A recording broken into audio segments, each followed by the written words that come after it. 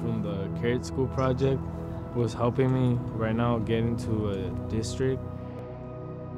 Uh, Brayan Solorio, and I live in Palo Alto, California, in the RVs.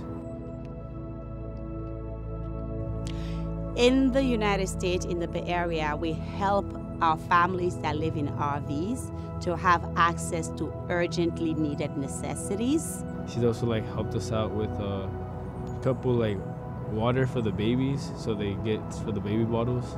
My community, uh, I'll probably like try and do something like Evelyn too, help out, because that really helps out too. So probably go out and give water, you know, give some gift cards, because that really does help.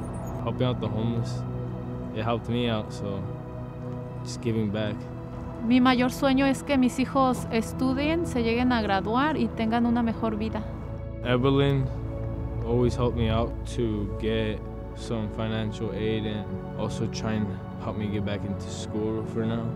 Karat School Project has helped me a lot, and they and Evelyn too.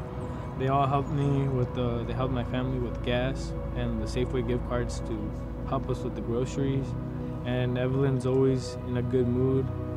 Uh, she's like another family member, and although she's always busy in meetings, she's always there for us. Even if she's like busy, she'll always be like, "Oh, how can I help you?"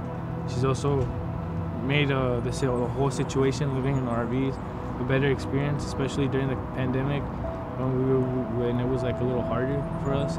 She helped us out. Oh, yeah, he's going to college. This kid's going to college. He has no choice. We're getting him to college. Yeah, everyone deserves a crazy uh, Evelyn.